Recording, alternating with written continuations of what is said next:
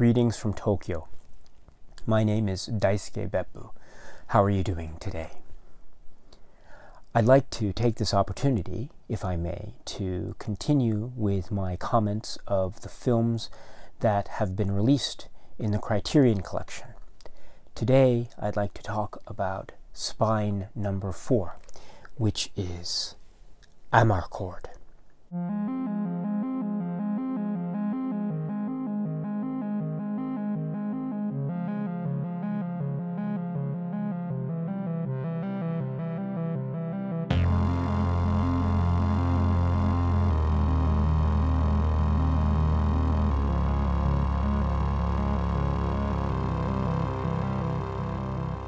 This is a film from 1973 directed by a gentleman whose name is Federico Fellini. This is a color film, and this is a film in Italian. The gist of the story, uh, or stories as it were, um, is that this is a uh, film that follows a group of people uh, that are in this town. The town is Rimini and we follow them over the course of a year um, as seasons pass and we encounter their let's say uh, interactions with teachers their school interactions uh, certain events in the town that connect the people. Uh, there are some scenes involving uh, the uh, um, uh, uh, fascist celebration parades, and there are scenes involving races and townspeople going to, um, uh, uh, you know, trying to view a, a, a large ship and trying to uh, deal with certain uh, aspects of growing up and adolescence and puberty and sexual awakening and just general time passing as lives change. This is a vignette, this is a tapestry, this is a collection of stories that are perhaps in the long run not so consequential in terms of the grand scheme of things because we are, after all, dealing with day to day things. We are dealing with simple happenings that aren't necessarily monumental or life changing. But at the same time, we do get stories that involve aspects of life that are quite difficult to deal with, that are quite momentous in a good way or in a not so good way. We are talking about things involving life, involving betrayal, involving sexual awakening, involving growth and maturity and family and yes, death. So this is the whole package of this film, which is a series of vignettes uh, that is uh, combined to form this overall arching story of this town. And that is Federico Fellini's Amarcord in a nutshell. Before I continue, let me just talk very briefly about this Blu-ray release. So uh, there are there is a great commentary by film scholars Peter Brunette and Frank Burke.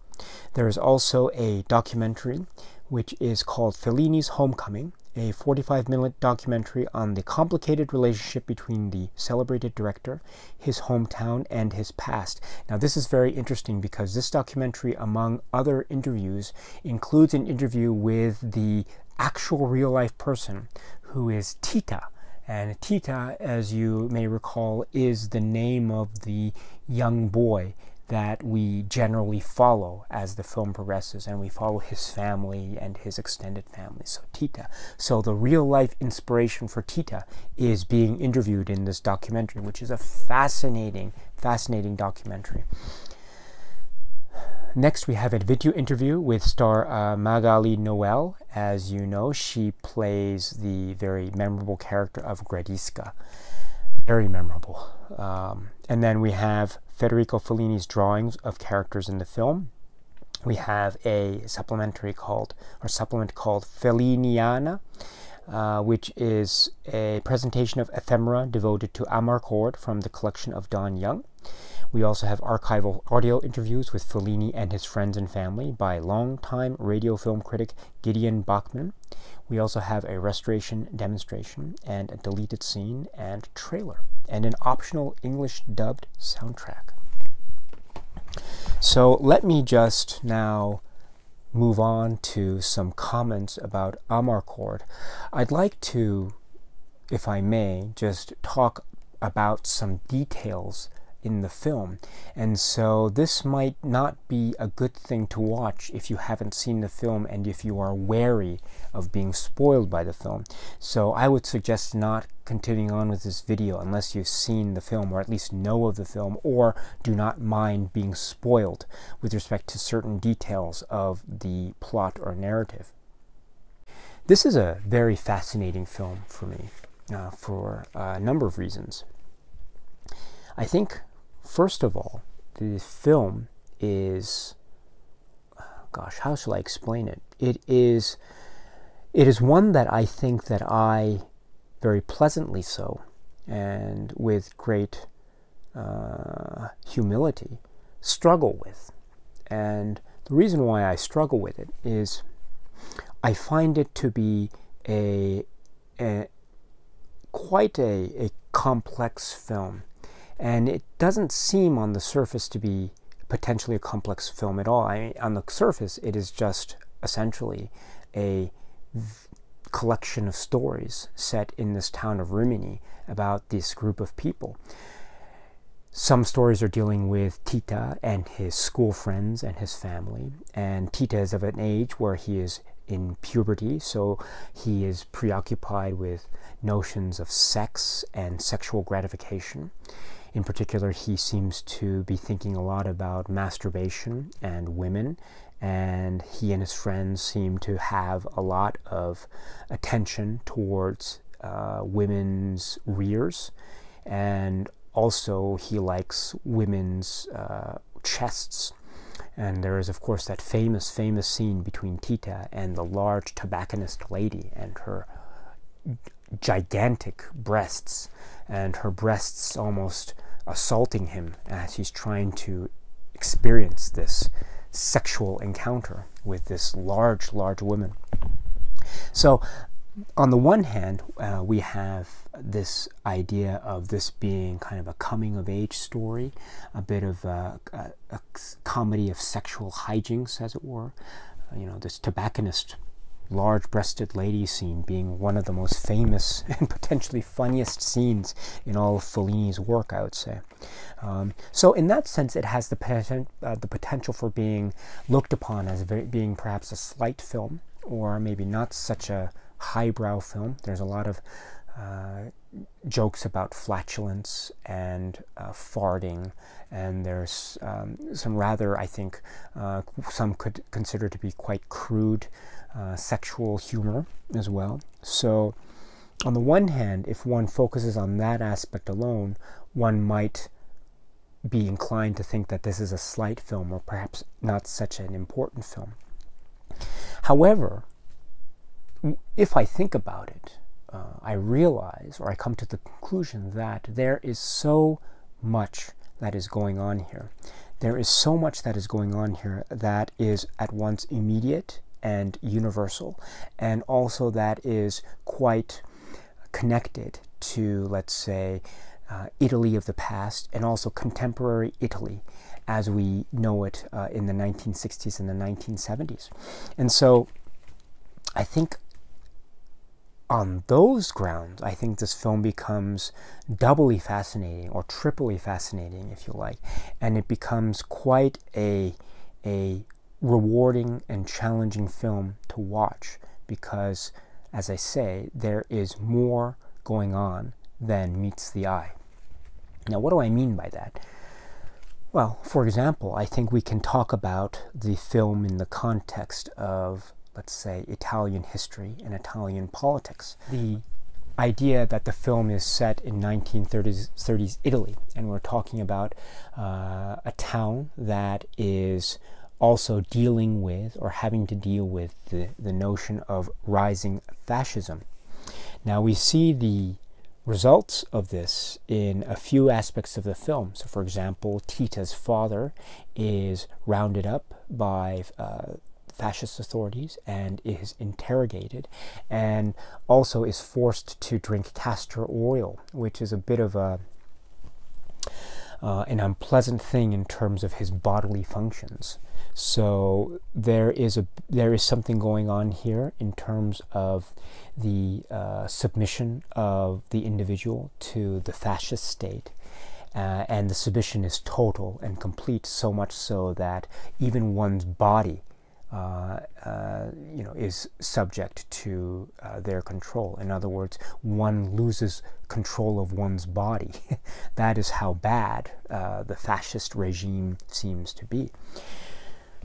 Another aspect of this fascist uh, state which is expressed in the narrative, is of course the very famous scene involving the parade, and the um, and everyone is uh, uh, being uh, everyone is outside, and then suddenly everything fills up with mist and smoke, which is a great metaphor for the sort of um, uh, the, this this notion that fascism isn't really the way. I mean, it really leads to uncertainty and uh, misguidance, uh, just as being in a fog leads one to be confused and losing one's bearing. So it's quite a wonderful, maybe oblique. Uh, uh, image that is being employed here, but I think one that doesn't escape the viewer. Another way to look at it, which I which I referenced, was on a more universal level, which means uh, not necessarily tied uh, specifically to the context of Italy, but more generally in terms of the human experience and the human condition. This idea of youth and the expression of youth, and this idea of how does one express oneself uh, when there is basically, let's say, no other outlet for expression. For after all, the school doesn't seem to be providing Tita with any way of expressing himself. There is no story in terms of Tita meeting someone that inspires him to do good. Uh, there's nothing along those lines. He has a very sort of carefree life. When he goes to church, he doesn't think about prayer, he doesn't think about anything, he just thinks about masturbation. And um, uh, he thinks about um, uh, women and he thinks about sexual gratification. And so this could be argued to be that there is nothing in him except the expression of his desire or his base instincts.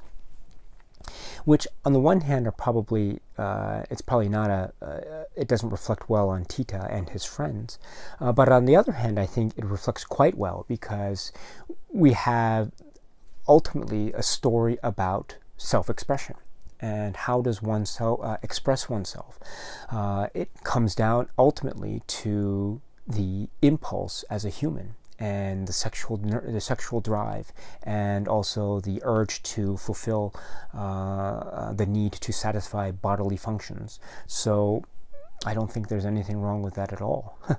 And more importantly this idea that Tita is growing up into a man right? Because all the way through the film, we basically see him as a young boy, not struggling necessarily, but maybe failing in terms, for example, of his sexual uh, escapade with the tobacconist. Uh, we see him not being engaged with any, let's say, women uh, on an intimate level or on a on a uh, uh, let's say um, a first love type of level.